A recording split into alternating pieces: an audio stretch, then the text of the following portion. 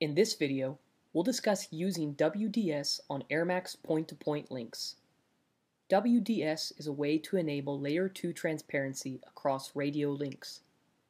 Because it preserves the MAC address from the originating traffic source, enabling WDS on bridged links is almost always recommended. WDS is not designed to interoperate between radio vendors, so using two Ubiquiti radios, users can pass virtually all traffic across wireless links. To enable WDS, navigate to the Wireless tab of the station radio. Check the WDS box, then hit Change and apply the settings. Then do the same for the AP.